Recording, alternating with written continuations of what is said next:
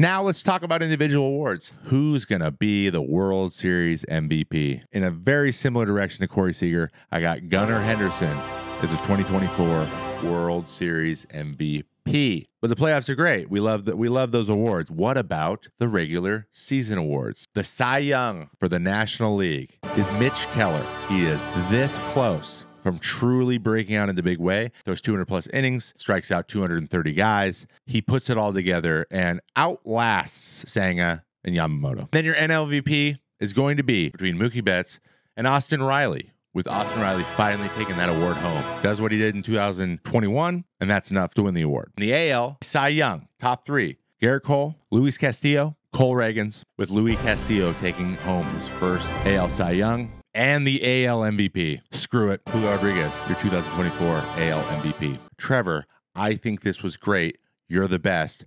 No notes.